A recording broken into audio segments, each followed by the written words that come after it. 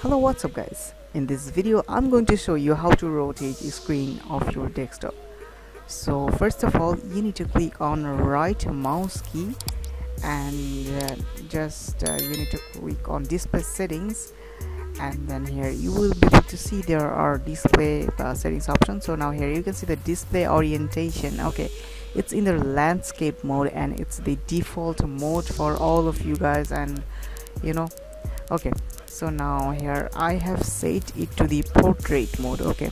So now when we uh, set it to portrait mode uh, in case if you are using using your desktop in your uh, like a portrait mode I mean the monitor in portrait mode you guys uh, need to do this okay? Uh, or sometimes if anyone uh, anyone else use uh, multiple monitor for their desktop sometimes it becomes necessary to do now here you can see there is another mode which is landscape but it's flipped. Okay guys. So uh, you guys can uh, set the orientation of your screen according to your needs. Now here you can see there is another option which is uh, portrait mode but it's uh, flipped. Okay guys.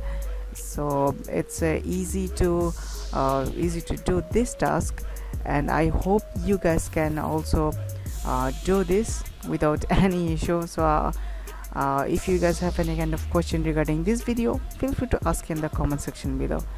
And uh, I will see you in the next video. Until then stay tuned with 5 minute solution